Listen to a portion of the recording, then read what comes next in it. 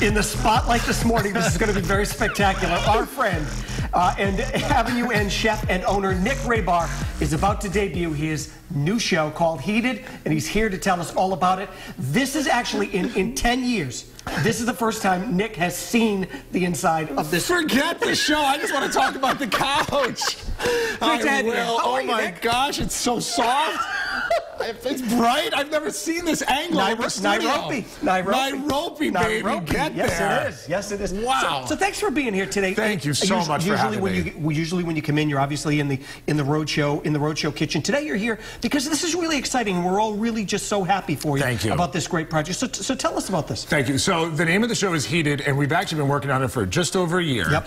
And um, Rhode Island PBS came to me and said, you know, we want to do a show. Um, you know, what do you think? You know, Right. what what kind of ideas do you have? And naturally, I would think, well. I should cook. Yeah. You know, I'm a chef. That's what I've done in the past on shows, and that's what I've done here so many Right. times.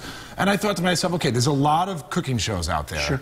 Um, and food is so ever present in our life, not just like as a necessity, but like in a cultural sense. Right. Um, so there's cooking shows, there's competition shows, but there's not a lot of shows where the dialogue is the star. So that's what I wanted to try to create, something a little bit different. So the premise of the first episode that airs uh, next Wednesday, the 4th at 7 o'clock, is Yep. about donuts. Right. Okay? So it's me and some local personalities all sitting around d- debating all angles Right. of the donut. Right. And our personal feelings on them. And believe it or not, it gets a little heated. I'm sure it does. Which is the name of the show. Um, and what's cool about it, though, is it's not just a half hour of me sitting around chuckling and throwing out, you know, donut gags. Is I go to local donut shops and, you know, feature local donut makers Right. as well. So it's not just informative, but it's also very educational. So, so could you think of a better place to shoot a to do a show like this because of all of the great restaurants No. that we have around here, and not just great restaurants, but also the different types of foods that we are we're very lucky to have around Yes, here. you're so right, and and